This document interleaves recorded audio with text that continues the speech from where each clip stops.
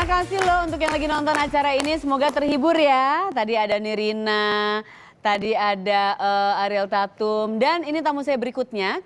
Ini dia sudah lama sekali ada di industri hiburan. Tapi mungkin sekarang posisinya sudah berubah gitu ya. Kalau dulu itu dia presenter iya, model iya. Saya ingat saya pernah diwawancara di talk show-nya.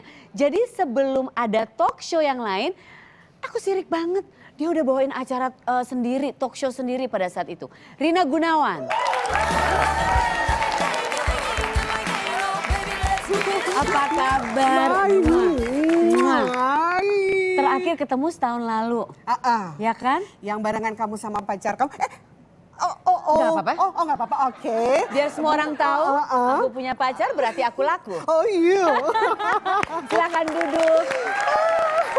Ibu Rina Gunawan. Iya. Jadi dulu aku masih muda belia kita berdua sama oh, oh, sih sama usia ya kita, ya. sama persis tapi kamu sudah membawakan talk show sendiri pada saat itu itu ya, berapa tahun lalu ya. sih?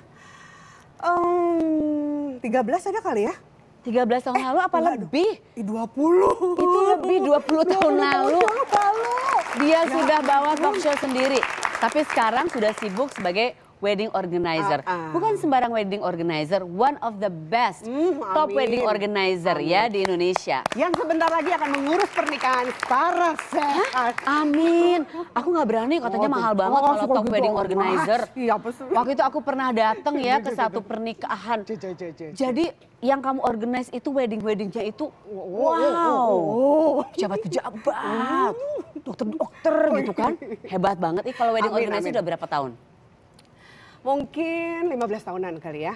Dan hmm. sudah betah di situ ya? Kayaknya enak banget. Aku tuh di saat mungkin lagi ngurusin ini kan kalau misalnya preparation agak-agak enam bulan sebelumnya atau satu tahun sebelumnya iya, wedding gitu itu ya. kan sesuatu yang riwah gitu Bener. ya. Benar. Jadi E to Z-nya tuh benar-benar harus dipikirin gitu kan ya. gitu kan. Terus sama kita kayaknya tuh deket sama si klien tertuh ya. Uh -huh. Jadi kayak uh, ketemu sama keluarga yang baru. Jadi di saat atau pada saat misalnya setelah selesai dari si wedding tersebut uh -huh. gitu ya. Yang uh, paling aku senang banget mereka tuh langsung Teh, makasih banget ya Teh weddingnya Iya pasti, itu kan Terus sambil, aduh kita nangis. pelukan, nangis gitu. Jadi momennya berharga sekali ya, karena mm -mm. menyiapkan pernikahan itu satu, uh, satu hal yang penting sekali. Benar. Untuk pasangan, itu kan Benar. kan maunya pertama kali, maunya seumur hidup, mm -mm. jadi harus spesial sekali. Nah, Amin. khusus untuk yang lagi nonton nih, terima telepon lo di sini kalau oh. misalnya mau uh, tanya, mm -mm. eh Masa mau nanya mau kawin sama aku ya? Jangan dong, bukan, bukan, bukan. Mau nanya apa pun tentang persiapan pernikahan, boleh telepon ke di Jakarta ya, ke 021 29 295 46188. Kalau di luar Jakarta jangan lupa nomornya 021 295 46198. Sharing tentang persiapan pernikahan. Mm -mm. Jadi ini sebetulnya dimulai mm -mm nggak sengaja atau nggak sengaja, sengaja ya katanya ya? sebenarnya. Krisdayanti kalau nggak salah waktu itu iya, ngurusin apa bener, gitu bener. ya? Jadi aku tuh barengan sama Kade waktu itu lagi uh -huh. ngeliat, um, jadi diundang sama anaknya di Yusuf waktu itu. Oh, okay. nah, ulang tahun waktu itu kan. Jadi pas lagi ngeliat terus ada badut atau sulap dan lain sebagainya, tiba-tiba dia nyeletuk gitu. Teh teh uh, Aurel sama Azriel mau ini loh, mau ulang tahun uh -huh. jadiin satu. Teh dong yang ngurusin lo kok teteh gitu kan ya.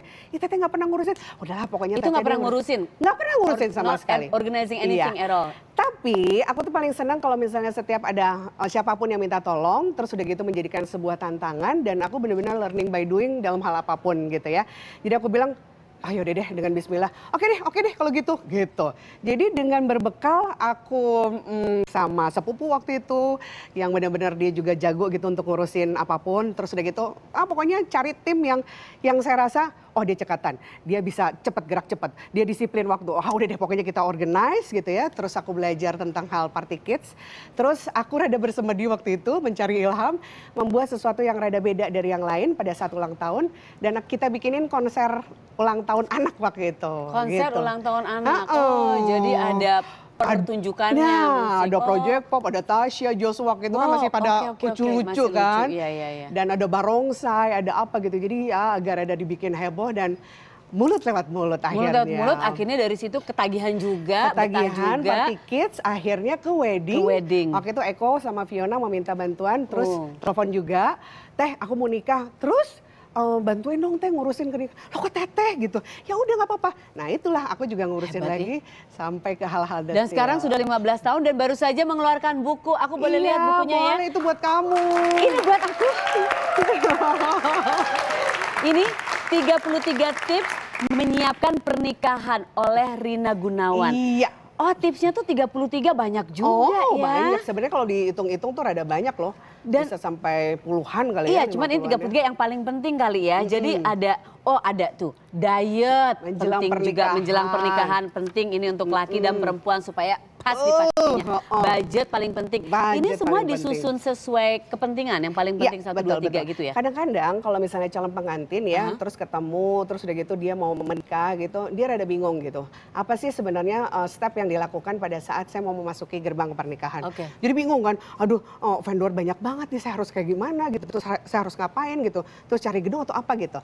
Nah dengan melihat dari si buku ini, jadi itu menjadi sebuah panduan, yeah. jadi mereka juga nggak bingung lagi. Gitu Benar. Nah, alhamdulillah uh, itu bisa semuanya ada deh di situ. Iya, iya. Gitu. Jadi walaupun hire wedding organizer tapi tetap hmm. tahu apa aja yang paling uh, penting di sini. Jadi nggak buta-buta amat gitu ya. Nggak usah pakai wedding organizer juga bisa dengan oh, lihat bisa itu. Bisa. Oh, Bikin iya, wedding iya, iya. organizer bisa juga lewat buku itu. Wih, hebat sekali. Oke, okay, sekali lagi untuk yang mau telepon ya, mungkin pengen tanya-tanya, pengen sharing ya di uh, yang di Jakarta 295 46188 di luar Jakarta 021 295 46189. Uh -huh. Udah ada yang masuk ya?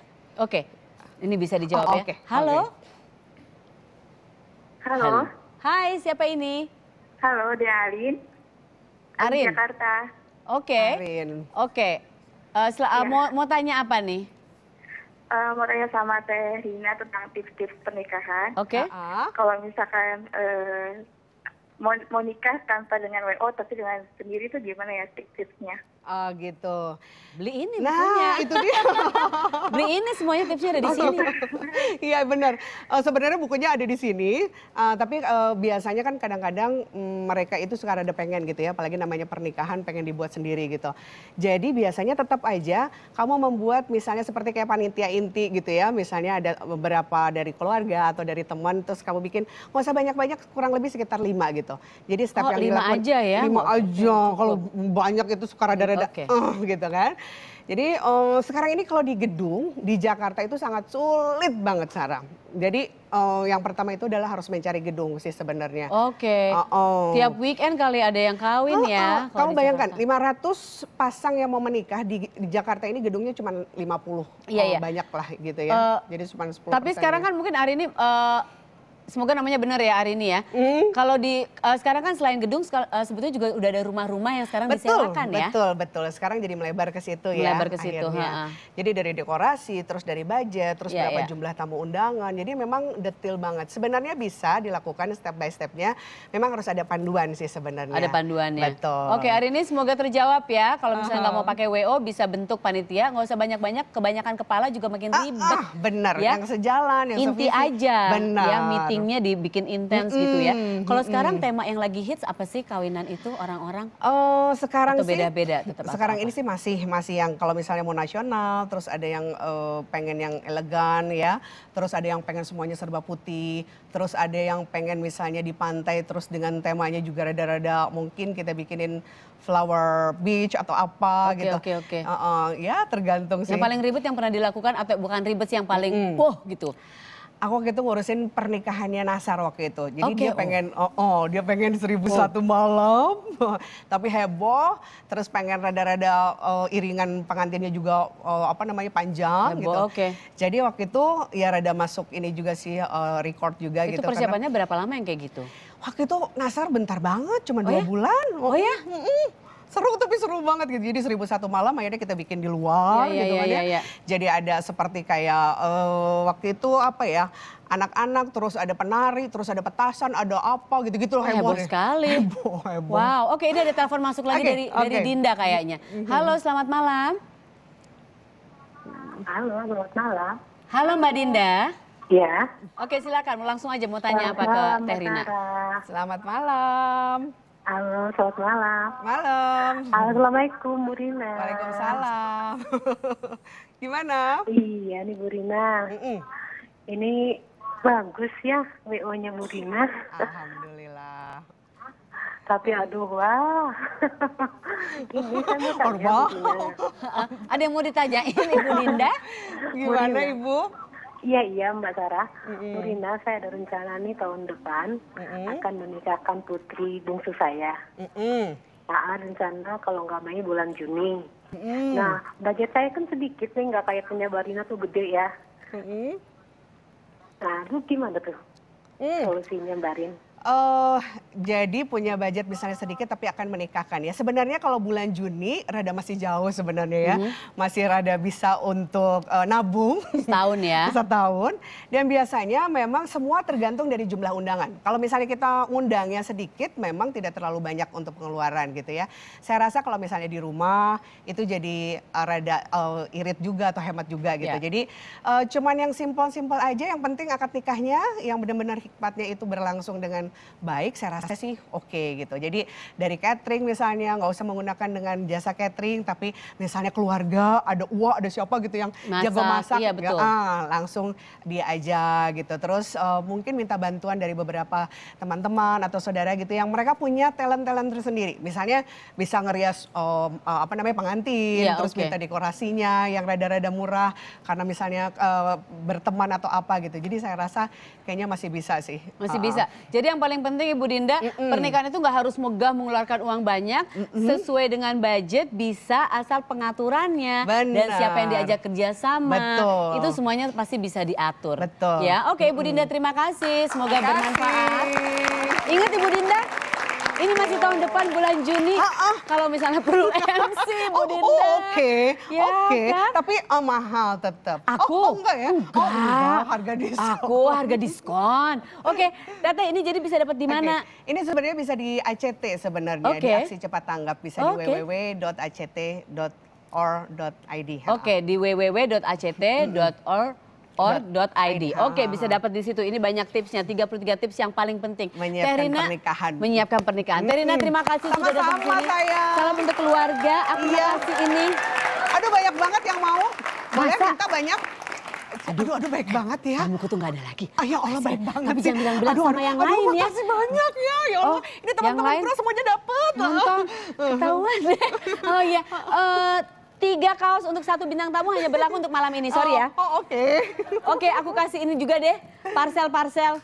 Dalam Aduh, rangka menyambut Hari Raya Idul Fitri beberapa hari lagi, eh beberapa hari lagi, minggu depan ya, beberapa ya, minggu lagi ya. senangnya jadi nggak usah beli lagi ya. Oh iya, alhamdulillah kan. Ini untuk wangi-wangi Oh, di iya. rumah. Terus tuh. teleponnya nggak nggak dikasih juga telepon yang tadi. Telepon yang tadi dipakai Eh, untuk ngangkat. Iya itu yang tadi segmennya nih enggak, Nirina enggak. Oh, dikasih. enggak. Oh, Oh, itu nanti diatur sama panitia ya, panitia acara ini. Kayak kawinan. Nuhun pisan, nuhun pisan. Selamat malam, terima kasih semua. Thank you. Minum dulu aku. Oh, mangga.